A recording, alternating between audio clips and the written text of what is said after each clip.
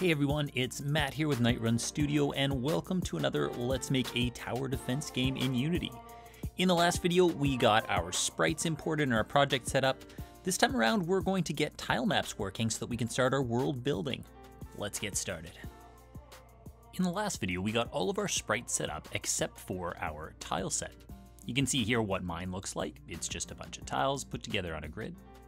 So I'll just select my ground tiles at the bottom here, head over to the inspector where I can pick multiple for sprite mode, apply those changes, and then go into the sprite editor. Here we're just gonna slice that image up. Mine is 32 by 32 grid, so we can click that.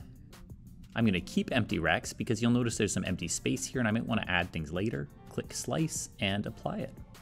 We can now close the sprite editor, now, if you downloaded the Universal Render Pipeline version of Unity, you should be able to right click in the hierarchy, go to 2D Object, Tile Map, and select Rectangular. When you do this, you'll notice that a grid and tile map appear. I'm just going to rename mine to be Ground.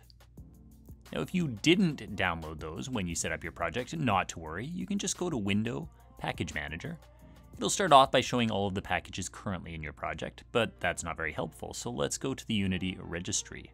From here we can search tile, and then just click on Tile Map Editor. You should get a button at the bottom that allows you to download or install those, and then you should be good to go.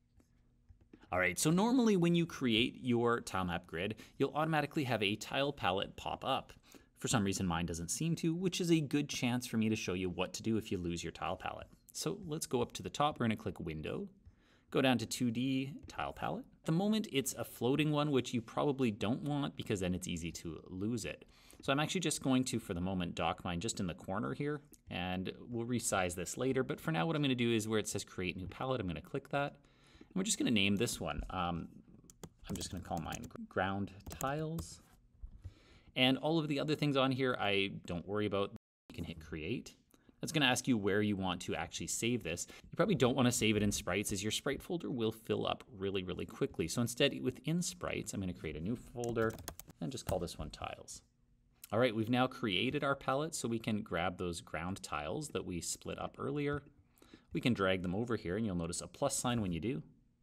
It's now going to ask where do you want to save all of those tiles, and this is why we created the folder, because this is going to make a lot of files, and we don't want to suddenly add like 100 files to your sprites folder. Instead, we'll put them somewhere nice and clean, like a tiles folder. All right, with that done, we now have our tiles on our palette and we're ready to get started. So first of all, a couple things about the tile palette here. First, you'll notice the active tile map is our ground one. Um, that's the only one we've created, so this is nice and easy, but later on you might have multiple tile maps for different layers, so background things, foreground things, that sort of thing. You always wanna make sure that you're painting in the correct tile map. Now at this point, we've got a couple of tools, and there's really just a few that we're going to be interested in for this video. The first one is going to be if you click on any of the tiles specifically, you'll notice that it automatically will highlight your brush, and you can just come into the game and start painting with that. Now obviously I don't want my tiles floating up in the sky like that, so I'm going to click my eraser, and I can get rid of them. And at this point, just a couple of other little helpful things.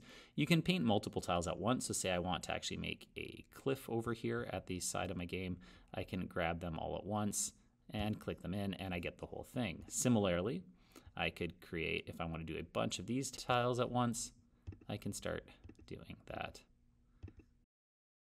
At this point, if I go into game, you'll notice that my tile palette is now showing up along with my cliff.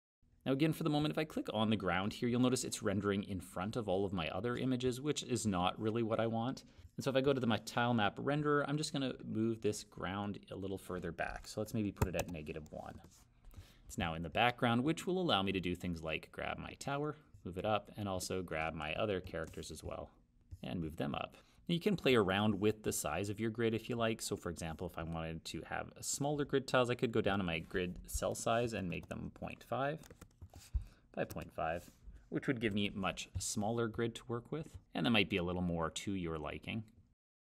Now, say I wanted to erase all of that because I don't like the way it is. You don't have to do this piece by piece. You can just actually grab a large amount of empty tiles, hit your eraser, and it will allow you to erase a lot all at once, then go back to your pencil.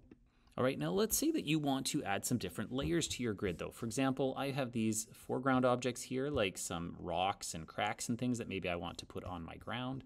What I could do is on my grid, I could go to 2D object and add another rectangular tile map. We call this one ground decoration, say. And I'm just going to set it one further forward than the other. So I set the last one at negative one, so I'll leave this at zero. Now when I grab these rocks, I want to make sure that I am actually on the ground decorations layer. And I can now put things down on top of my other tile in order to make it look a little more interesting if I want. You can do the same thing if you want to add background or foreground. So for example, say I wanted to put a, another hill, but I wanted it to be in the background so my player can run in front of it. I could go to 2D object, tile map rectangular. This time around, let's call this background. We'll set this to be like maybe negative two. And now if I wanted to, I could paint in some background objects like making a hill or something like that. Now, just because I've made the background doesn't mean that my tile map will get set to that background, so make sure always that we are working in the correct layer.